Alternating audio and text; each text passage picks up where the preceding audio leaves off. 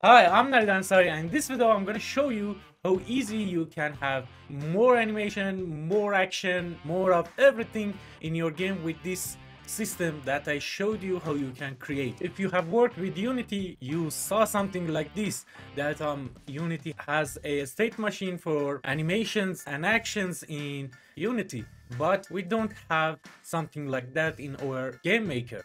So in my platformer game playlist that you can watch, I did create this system and I showed you how you can create that and how much it make your life easier for creating whatever game you have.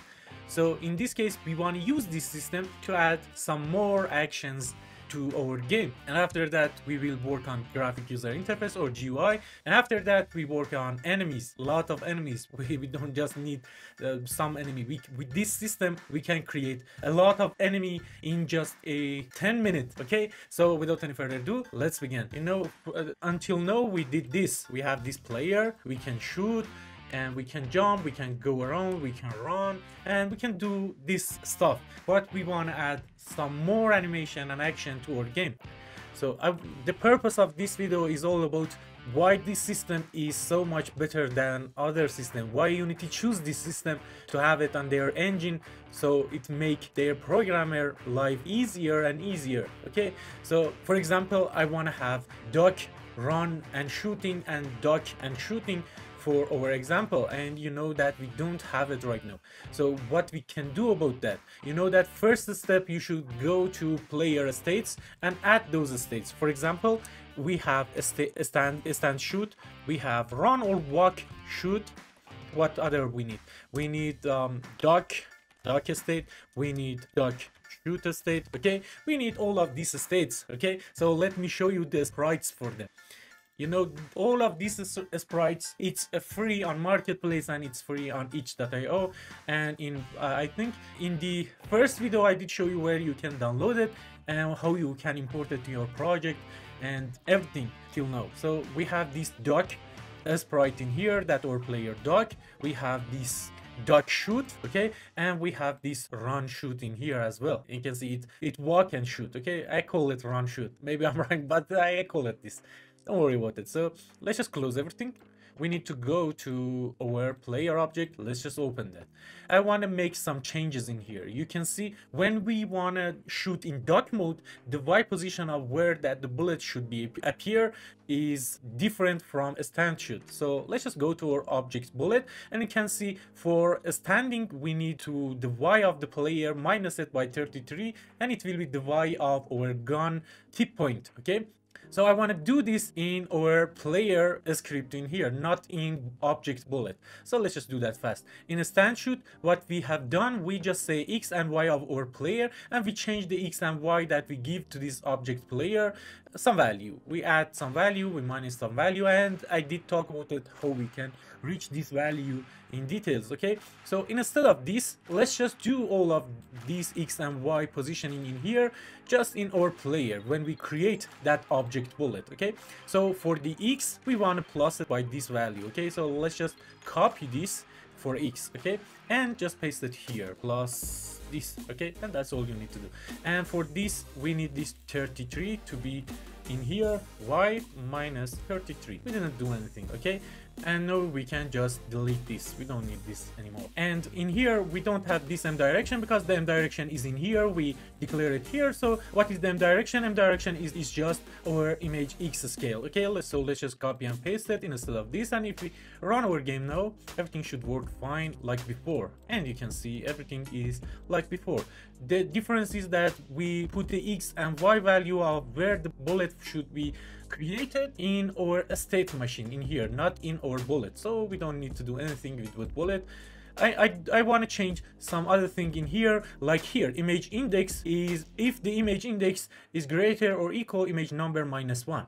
And I did create a video about this, about this anima animation and When you do it like this, the animation won't end properly. So if you have five frame, each frame should, for example, play for five milliseconds. But if you do it like this, the last frame will be played for just something like one millisecond, for example. Okay, so we shouldn't do that. And and I did show you how you can write this script in here that it will give you if the animation end or animation interval. I always use this animation interval. If you don't know what this animation interval is, please watch my video about a big problem in Game Maker that is in animation end ending that I think most of you have problem with this but uh, I think you skip it because it happens sometime not always okay?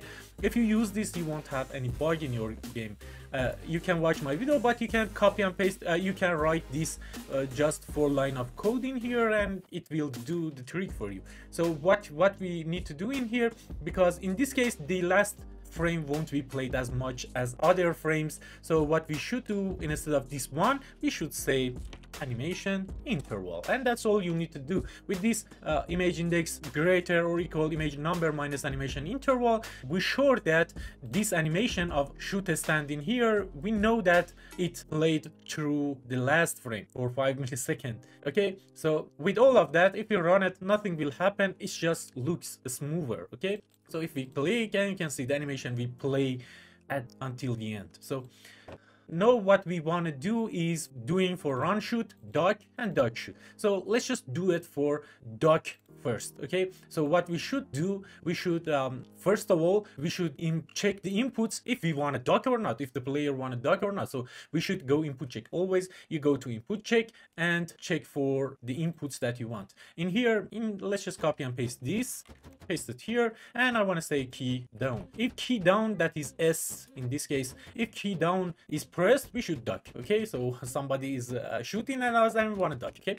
So that's all we need to do in this input check. We don't need to do anything else, okay?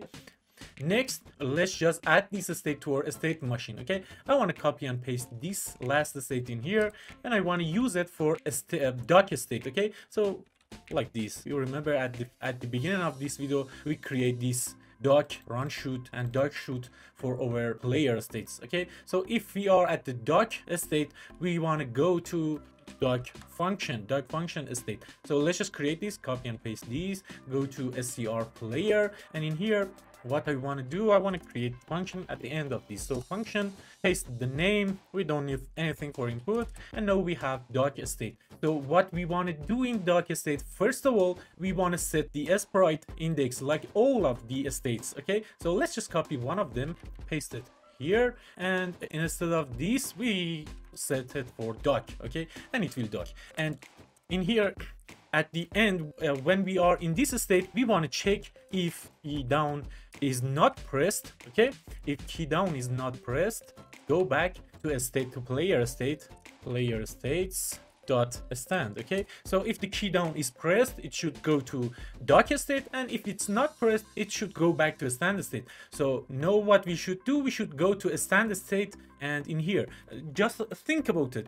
When the player can go to duck state when he's or when he or she is standing right? Okay? So in a stand state we should check for in here at the end of this um, state or function we should check key down. If key down is pressed we want to go to let's just copy and paste one of these and we want to go to duck state okay? So what will happen? First we check the input. If we head down it should and if we are at the standard state it it should go to duck state. So and in the duck state if the key down is not pressed it will go to standard state. So let's just run to see if it has any problem or not okay? So you can see it stand it when we hit the s on our keyboard the key down is true and it will duck okay? But there is some problem with it okay? If we hit S on our keyboard and if we hit D it will go right and left so what is the problem um, in movement, let's just go to movement. We didn't write any code for some time for this movement. In movement, we should check this, okay? In movement, we always check for key shift, key jump, and uh, we check the speed. And in here, we say if the key down is pressed, we shouldn't have any speed at the horizontal and and vertical speed okay? So hspd for uh, horizontal speed and vspd for uh, vertical speed. So in this case if the key down is pressed it shouldn't be able to jump or move around okay? So we should do this at the end of this movement function okay? So now that we have this we don't need to do anything about this movement anymore. So let's just run new game and if we duck we can't jump we can go left and right everything is okay. And you can see that we add some more action to our game and it didn't take too much time to add this. It takes like five minutes. And again our code is making sense and easy to develop and easy to read right? So after that we want to add duck shoot okay? So hope we can do that. Let's just we uh, you remember that we add these states to our states player states in here. We want to create a function. For that i want to uh, copy and paste this stand shoot state function. I want to copy it and use this okay? So i want to add it to the end of this scr player or player script and this is for duck shoot okay for duck shoot state function we want to change this shoot stand to duck again okay? So what we else we want to do? Um, this is where we create our bullet. So the y is not correct okay? So we should change the where the our bullet is creating. And i did calculate that and it's 22 and if you don't know how you can reach this value and calculate this value i have video on that. Just watch my playlist of platformer game. I did teach a lot in them and if the animation ends we should go back to duck okay? And know that we have this function we should add it to our state machine in here okay and this is for duck shoot. And eh, we did a mistake in here. For um for ducking we shouldn't create this function for duck shoot. So let's just delete this shoot in here because this is for just ducking not duck shoot. And in here again we should change it to duck okay? So this is duck state function and this is duck state function. I did forget. Sorry about that about that. Know that we have our duck shoot state we have our duck shoot state function so know that we have this duck shoot state. We should check where we should run this state. We should go to this state. Of course in duck state we should go to this state from duck state okay? So if the, at this duck state we check if key shoot is pressed okay? So we should uh, in this duck state we should check for key shoot. If key shoot is pressed we should create our bullet. So i don't want to do that because we have this powerful system. We can just copy and paste this if key shoot from here from this stand state to just our dark state. So with that when we when we are in dark state and the key shoot is triggered we should go to dark shoot okay? And that's how easy you can just copy and paste and do a lot of cool stuff. And again it will be readable. And you can see it's just take around two or three minutes to add this. Now let's just run it. And you will see that it is bug free. There won't be any bug. And you can see everything is working fine. Animation is ending. Or everything is working. So you saw that for creating this duck state and duck shoot state it didn't take any time. Let's just collapse everything and now you can see again our code is readable and easy to develop and you can do whatever you want with this state machine. It's how um, programmer doing it in unity and we should have it in game maker by ourselves. It because we did it we did it ourselves it give us a lot of choice so we can do a lot of a lot more cool stuff with it. So again let's just do it for run state okay? So we have duck duck shoot but we want to run shoot as well. So what we should do everything is at place so let's just copy and paste one of these states and just watch the timer how easy you can have that. For this duck no let's just change this to run shoot change this function to run shoot create this function, okay, like we did it before. At the end of this SCR player, we say function, we create our function, and now we have our state, okay, everything is okay. So what we should do, first we should set the sprite for it, okay, change the sprite for sprite index to run, again we should copy and paste this because it's, it's just too easy. Okay change this to 33 because it's standing and shooting. We could just copy it from a stand state stand shoot state in here. We could just copy and paste this. It's, the difference is this just 33 and in here again let's just copy and paste this and with that we want to go back to walk or run state okay? So we we go back to walk state. So where do this run shoot state should trigger? You guessed it it should go come from this walk state. So at the in here we just check if again we don't need to do it. We can just copy and paste this if key shoot in here paste it for our walking here and instead of this stand shoot we want to go to run shoot okay again we can copy and paste this from here to our run state again. So when we are running with the holding shift key on our keyboard we can again shoot as well. So now if we run it new game and you can see now everything is working fine.